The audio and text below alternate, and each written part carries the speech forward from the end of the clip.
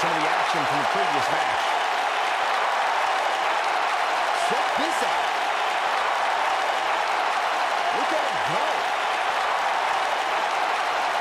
Oh, I can't believe this. And I always enjoy watching him perform.